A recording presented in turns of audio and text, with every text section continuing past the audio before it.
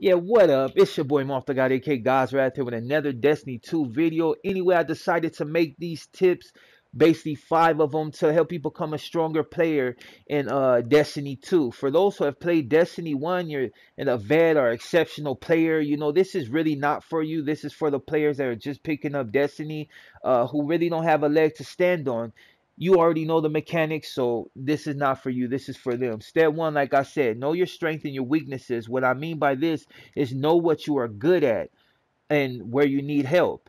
If you are if you are good at at PvP, sorry about that, player versus player, but have a hard time in PvE, player versus enemy, which is basically the AI, you simply need to learn your enemy. Realize all AI move in a certain manner and rarely deviate from that pattern even while engaging other AI, just shoot one and they all turn on you. Study them closely. That's basically what you need to know in tip one.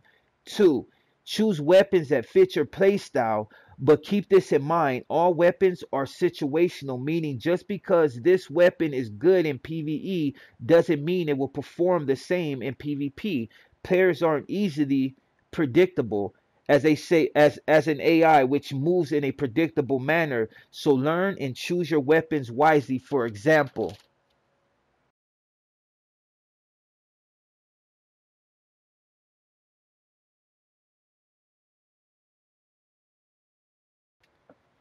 Well, as you can see, the AI die with ease. For the example that I just gave you, uh, it changes no matter the gun archetype the same way you kill an AI will not be the same way you kill a player. I mean, the example that I just showed you was a little off because the guy really wasn't strafing, but it was the end of the match.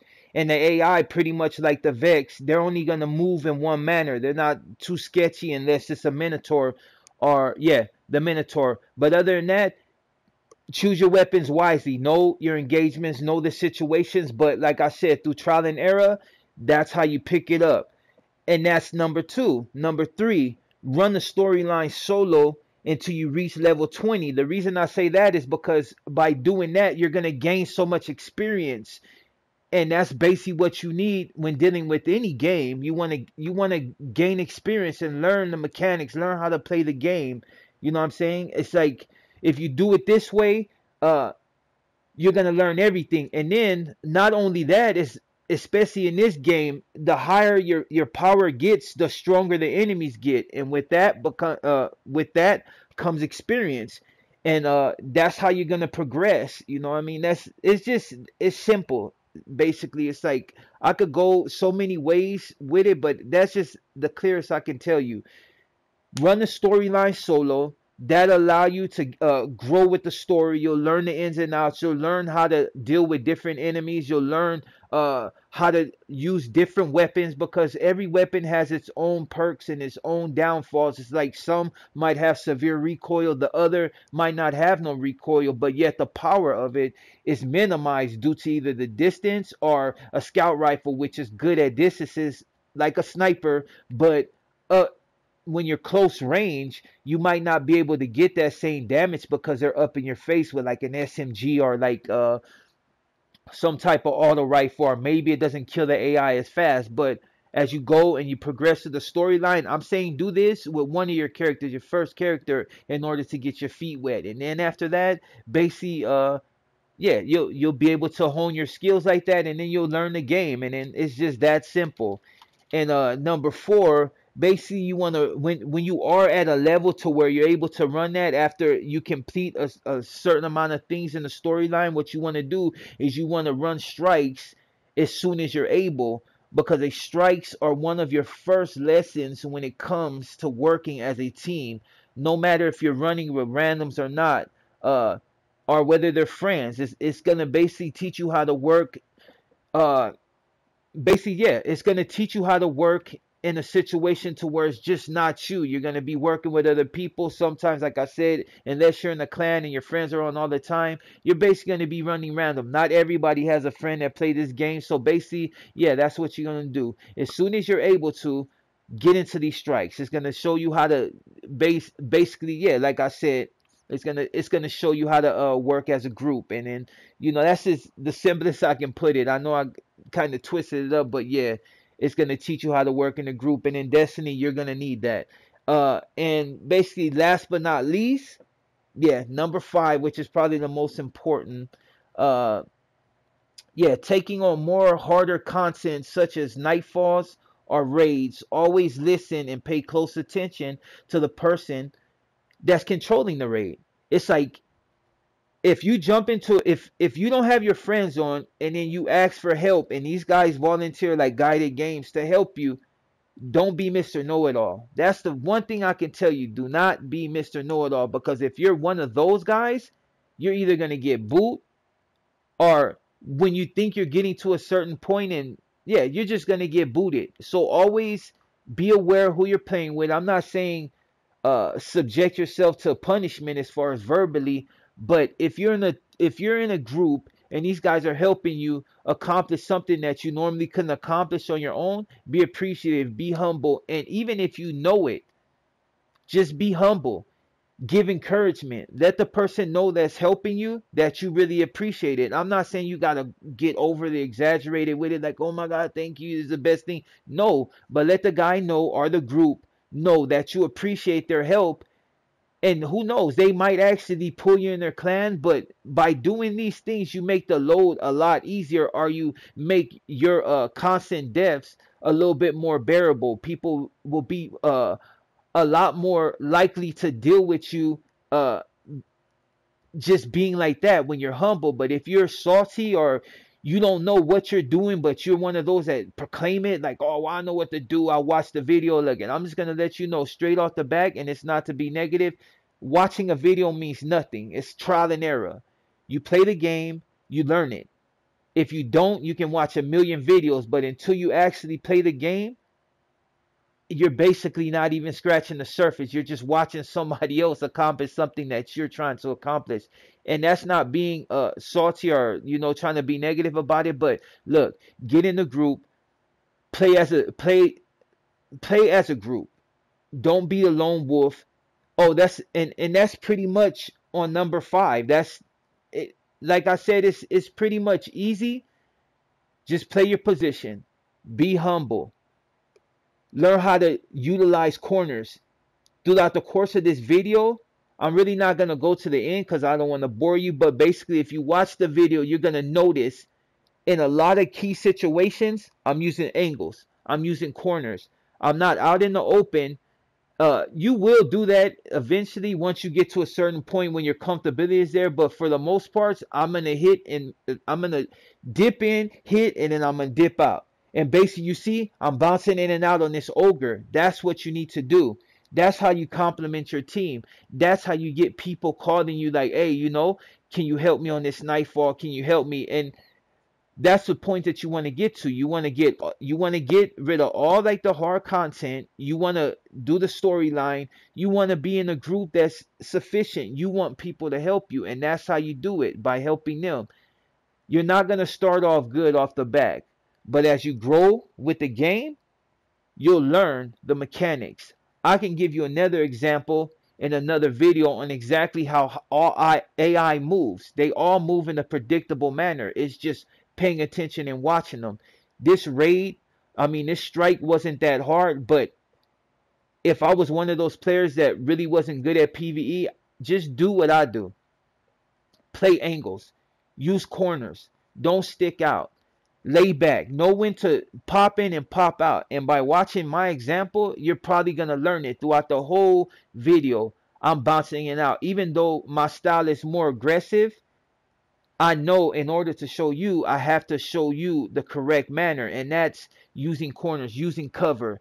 This is not a cover-based shooter, but you do need to use cover if you don't know how to play this game because you will get absolutely melted and if your whole team wipes, I mean, it's not that bad on the strike. But if you're playing something like the raid, you want to be uh, as efficient as possible. It's like you want them to know that you're able to play. And if you're dying every five seconds, which it will happen sometime until you get your feet wet, and then it's not always a guarantee that you won't die. But if you watch my gameplay and you pick up the tips that I gave you, which weren't uh, too bad, they're just really straight to the point you'll get it. And uh, another thing before uh, I close this and let the rest of this video play, the best thing you can do if you don't already have it is pick up Destiny 1.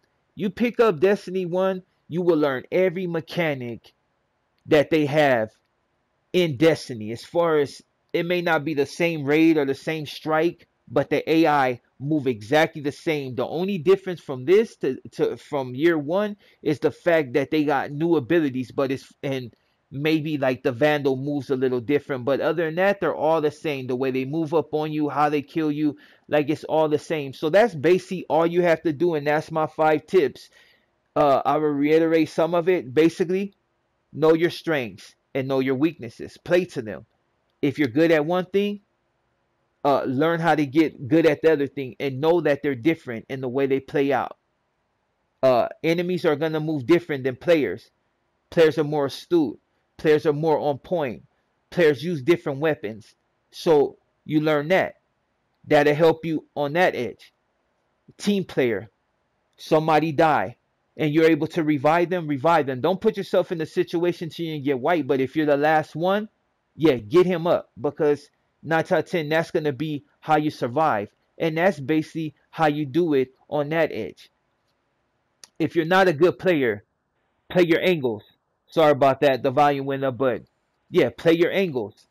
And uh like I said, that's basically how you do that. And uh hopefully, you know, this video will show you exactly how to play. Like I said, sorry the volume is so loud, but I forgot to lower it on this one. But anyways, that's my five tips on how to become a stronger player in Destiny. Guarantee if you pay attention to them, you will become a stronger player in Destiny. Uh, my name is Moth the God. If you're not subscribed to me, please subscribe.